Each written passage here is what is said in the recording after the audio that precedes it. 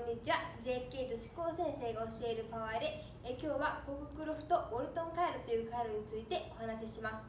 皆さん突然ですが皆さんはオゾンを自分で作ってみたいと思う時ありますよね。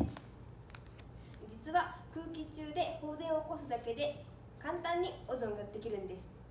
えでも持っている電源では電圧が低くてとても放電しないよえそんな皆さんに朗報です。とても便利なカイロがあるんです。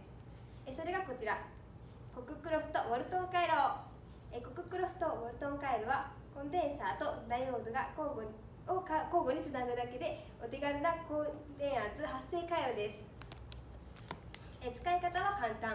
お手元のえ高圧交流電流源を接続するだけ。えそうするとえこちらに入力電圧振幅の 2N 倍の直流電圧が発生します。コンデンサーとダイオードの数を増やせばその数に比例して出力電圧も大きくなるのです。ところでコククロフトウォルトン回路はどうやって動いているのでしょうか。試しに5段コククロフトウォルトン回路に交流電圧を入れてみましょう。電圧が下向きの時電源からこちらのコンデンサーにエネルギーが蓄えられます。そして入力電圧がの向きが逆向きになるとこのようにこちらからこちらへエネルギーが移動します。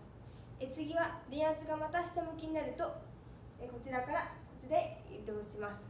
上向きになるとこちらからこちらと繰り返すことでそれぞれのコンデンサーに電圧が発生し高い出力電圧を得ることができます。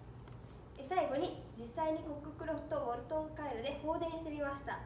私たちは交流電源すらありませんでしたのでフライバックコンバーターという回路で交流を作っています。えこの部分がコッククロフトボルトン回路ですね。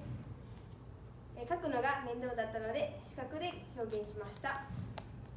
え写真をご覧ください。えこの細い隙間で放電しているのが見えるでしょうか。えこの電圧なんと 6000V なんです。えこの放電によっておそらくオゾンが発生しています。えまとめです。え今回はコククロフトウォルトン回路を用いて放電させてみました。えコククロフトウォルトン回路を発明したのはコッククロフトさんとウォルトンさんは40万ボルトの電圧を使っ作ったんですって。私たちはコククロフトウォルトン回路を使った実験でノーベル物理学賞を受賞したよ。ノーベル賞えコッククロフトボルトン回路は素晴らしいですね。